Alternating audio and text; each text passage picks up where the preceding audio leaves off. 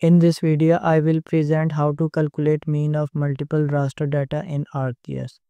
First, open the ArcGIS. Now I will add the data.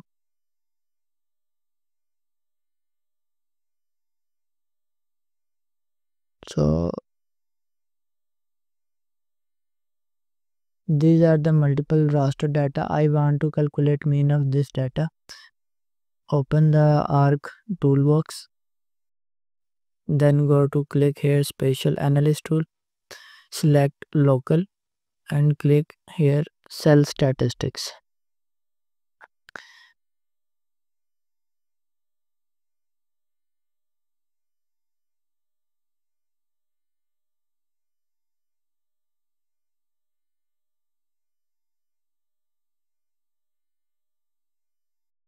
Here we change the output according to your requirements. So this will go to the by default database.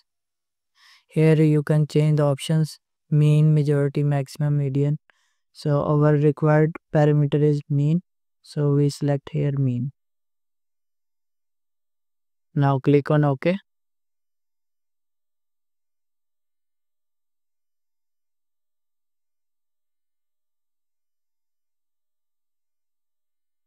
So this is our output. We change its symbology.